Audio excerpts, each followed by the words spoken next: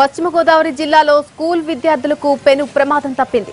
చాగల్లు మండలం మీనానగరంలో విద్యార్థులతో వెళ్తున్న స్కూల్ బస్సులో ఒక్కసారిగా మంటలేగిసిపడ్డాయి వెంటనే డ్రైవర్ బస్సును నిలిపివేయడంతో విద్యార్థులంతా సురక్షితంగా బయటపడ్డారు.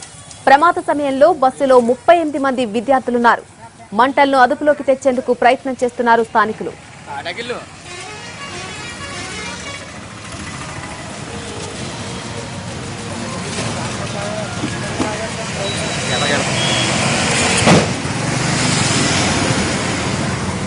పశ్చిమ గోదావరి జిల్లాలో స్కూల్ విద్యార్థులకు పెను ప్రమాదం తప్పింది. చాగల్లు మండలం మీనానగరంలో విద్యార్థులతో వెళ్తున్నటువంటి స్కూల్ బస్సులో ఒక్కసారిగా మంటలు ఎగిసిపడ్డాయి. వెంటనే డ్రైవర్ బస్సును నిలిపివేయడంతో విద్యార్థులంతా సురక్షితంగా బయటపడ్డారు. ప్రమాద సమయంలో బస్సులో ముప్పై ఎనిమిది మంది విద్యార్థులున్నారు. మంటలను అదుపులోకి తెచ్చేందుకు ప్రయత్నం చేస్తున్నారు స్థానికులు.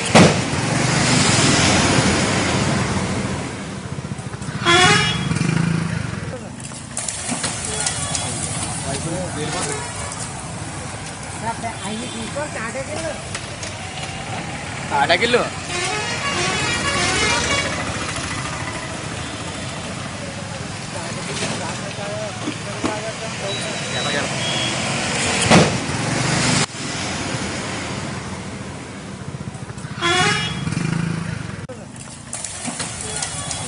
Berapa? Berapa? Berapa? Ayo, kok ada dulu. అడగిల్లు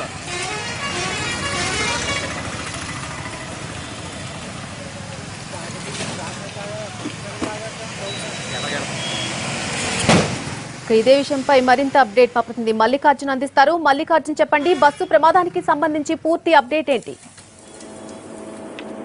ఈ నిర్మలా స్కూల్కి సంబంధించినటువంటి బస్సు మొత్తం ముప్పై ఎనిమిది మంది విద్యార్థులతోటి త్యాగల్ల వరకు మండలం వరకు కూడా వెళ్తూ వస్తూ ఉంటుంది రోజు. కానీ ఈ రోజు కూడా అదే అదే విధంగా ఆ బస్సు మొత్తం విద్యార్థులందరినీ కూడా ఎక్కించుకొని వస్తున్నటువంటి సమయంలో ఇంకా చివరిలో కొంతమంది ఒక ఎనిమిది మంది విద్యార్థులను దింపేటటువంటి సమయంలో కొంత ఇంజిన్ వేడి రావడం అదంతా కూడా గుర్తించినటువంటి డ్రైవర్ పిల్లల్ని ముందుగానే కిందకి దింపేశాడు ఆ సమయంలో బస్సుని ఆ చెక్ చేస్తున్నటువంటి సమయంలోనే మెల్లగా మంటలు రేకెత్తడం రేకెత్తడం గుర్తించాడు వెంటనే పిల్లలందరినీ కూడా దూరంగా వెళ్ళిపోమని హెచ్చరించడంతో ఒక రకంగా పెను ప్రమాదం తప్పింది. మొత్తం ముప్పై ఎనిమిది మంది విద్యార్థులు కనుక ఆ బస్సులో ఉన్నప్పుడు కనుక షార్ట్ సర్క్యూట్ అయ్యి ఆ రకంగా మంటలు చెలరేగి ఉంటే ఆ రహదారిలో కూడా పెద్దగా భారీ వాహనాలు తిరుగుతాయి తప్ప పెద్దగా ఎక్కువగా కూడా గ్రామస్తులు ఎవరు కూడా ఎక్కువగా ఉండరు. కానీ ఇది ఊర్లోకి వచ్చేసరికి ఈ ప్రమాదం జరగడంతో వెంటనే స్థానికులందరూ స్పందించి విద్యార్థులను దూరంగా తీసుకెళ్ళడం అలాగే ఆ బస్సు పూర్తిగా దగ్ధం కాకుండా వెంటనే స్థానికులందరూ అక్కడికి చేరుకుని ఇసుకతోటి అలాగే వాళ్ళ దగ్గర ఉన్నటువంటి నీటితో వెంటనే బస్సుని